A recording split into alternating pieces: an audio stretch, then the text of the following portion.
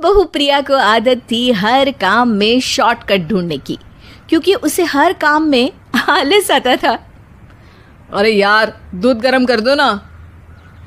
अरे पेट में जाके तो दूध ठंडा ही हो जाना है ना तो ठंडा ही पी लो ना। अरे तुम मेरा सर गर्म मत करो यार। अच्छा है सर गर्म हो जाए तो सर पे दूध रख लेना वो भी गर्म हो जाएगा। एक बात बताओ तुम इतनी आलसी क्यों हो? अरे बोलो ना इतनी आलसी क्यों हो? प्रिया जवाब दो।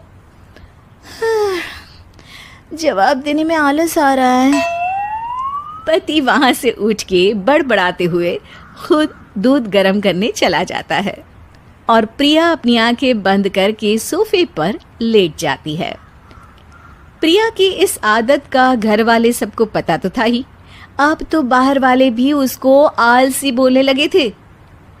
अरे बहू सुन ना एक गुड न्यूज़ है। क्या माँ जी? आप सब कुछ मेरे नाम करने वाली हैं क्या? अरे बस तेरा दिमाग पैसों में ही लगा रहता है। माँ जी आपको तो पता है कि मैं गांधी जी की कितनी बड़ी फ़ैन हूँ।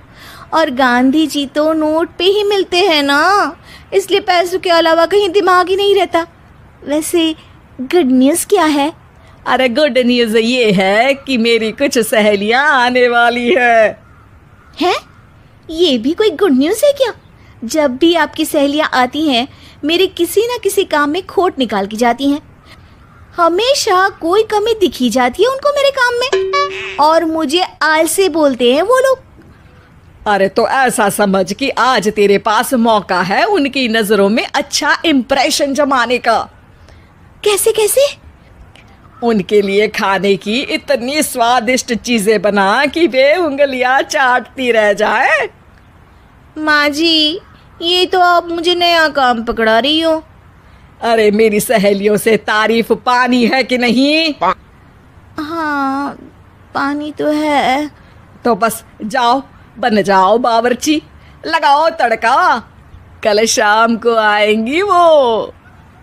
अगले दिन सास सुबह से घर के बाहर अपनी सहेलियों के पास चली जाती है और शाम को सब प्रिया के हाथ का खाना खाने घर आते हैं। आज देखते हैं कि प्रिया बनाती क्या है। हाँ हाँ पिछली बार हमने बोला कुछ हल्का खाएँगे तो पापड़ फ्राई करके ला दिए थे बस। हाँ और उसके पहले जब आए थे और बोला था कि भारी खाना खाना है तो तरबूज काट कर ले आई थी। बोल रही थी तरबूज भारी होता है ना?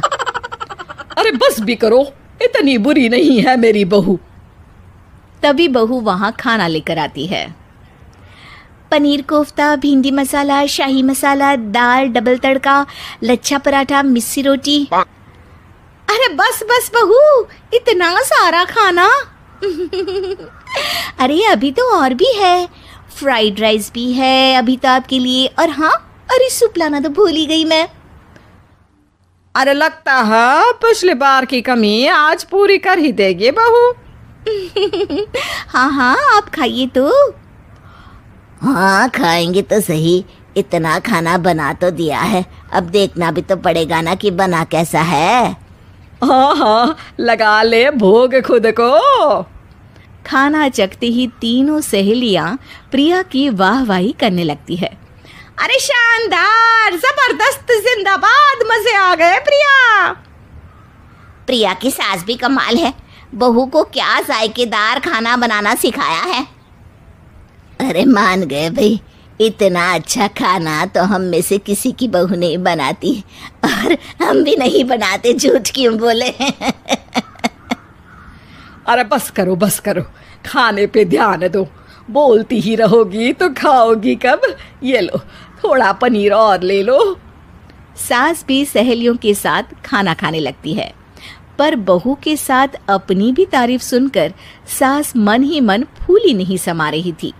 प्रिया ने बड़ी खुशी से सबको खाना परोसा और सबने झट से खाना खत्म भी कर दिया। राधे राधे मज़ा आ गया। और थक गई खाना खाते खाते। अब बस बिस्तर लग जाए मेरा। अब तो जब भी मेरे घर मेहमान आएँगे प्रिया को ले जाया करूँगी खाना बनाने के लिए। मेहमान भी खुश हो जाएँगे। सास खुश है कि प्रिया की इमेज अपनी सहेलियों के सामने काफ़ी सुधर गई है। प्रिया खाने के बर्तन समेटती है। इतने में तीनों सहेलियाँ हाथ धोने किचन में चली जाती है। तभी एक सहेली देखती है कि किचन स्टैंड पर कागज़ पड़ा हुआ है। वो सोचती है कि कागज़ को डस्टबिन में डाल दे। जैसे ही वो उसे उठाती है तो देखती ही रह जाती है। दरअसल वो एक बिल है, जिसमें वो सारी चीज़ें लिखी है जो उन्होंने अभी अभी खाई है। वो चुपचाप बिल उठाकर बाहर आ जाती है और उसके पीछे बाकी दो सहेलियाँ भी आती हैं। प्रिया खाना अच्छा बनाया था। सच कहूँ तो बहुत अच्छा बनाया था। थैंक यू थैंक यू बहुत अच्छा लगा सुन के हाँ पर जिसने बनाया वो इतनी तारीफ़ सुनता तो उसे और भी अच्छा लगता। क्या मतलब? ये बिल देखो तुम्हारी बहू ने ऑनलाइन ऑर्डर किया था खाना। अरे तारीख तो आज की ही है ना? हाँ हाँ आज की ही है। प्रिया ये सब सही है क्या? प्रिया अपना सर झुका लेती है। सास सब समझ जाती है कि बहू की चोरी पकड़ी गई है। इतना भी आलस अच्छा नहीं प्रिया। अरे बता ही देती कि बाहर का खाना है। मैं बाहर का खाना खाती नहीं हूँ। तीनों सहेलियाँ वहाँ से जा रही होती है कि तभी उनमें से एक मुड़कर कहती है अब ये तो बताओ कि खाने की रेटिंग बहू को दे या डिलीवर करने वाले को?